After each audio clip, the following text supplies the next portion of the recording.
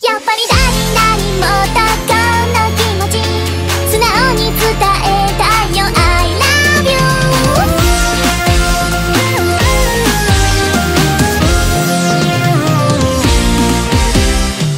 海底分けして繰り返し。押せないままの差しぼった絵文字多すぎ減らしちゃう。あっさりしすぎてかわい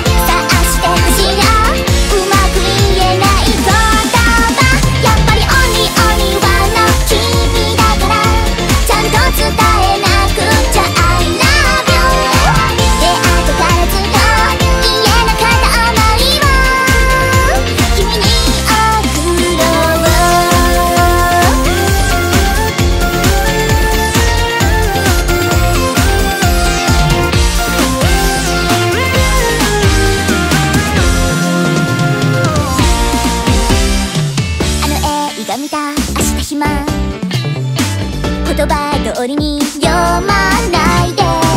君へと送る言葉はね。